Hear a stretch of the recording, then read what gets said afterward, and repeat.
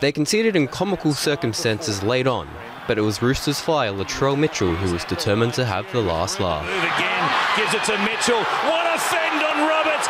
He set sail! Latrell Mitchell! Too strong, too quick, too good! Just watch the power of him. Shoves away the Broncos defenders and the acceleration to slice around the fullback.